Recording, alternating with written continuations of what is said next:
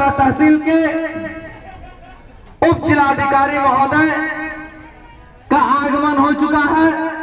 निश्चित तौर पर हमें पूरा उम्मीद है कि हमारे माननीय अधिकारीगण, हमारी जो मांगे हैं, शासन प्रशासन ने ज़रूर इसका संज्ञान लिया है। क्योंकि लगातार यह बारह दिन तक धरना चलता और यह चौरी चौरा के इतिहास में सबसे अधिक दिन तक चलने वाला धरना साबित हुआ है।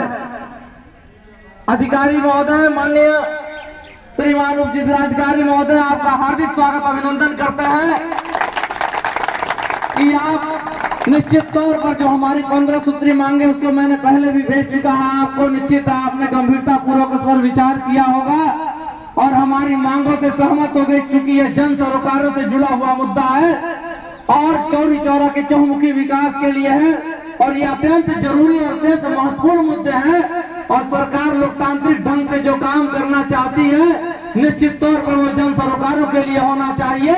और सरकारों ने कुछ मांगों की भी घोषणा किया है उसमें तो हम चाहते हैं उसको ज़मीन पर भी उतारा जाए। श्रीमान उप जिलाधिकारी महोदय तो हम चाहते हैं कि आपको यह सारी मांगे हम पढ़ करके जनता के सामने सुना दें और आप हमारी मांगों पर हमें पुख्ता आश्वासन दें, जिससे इस धरने के फलीभूत की घोषणा हो सके।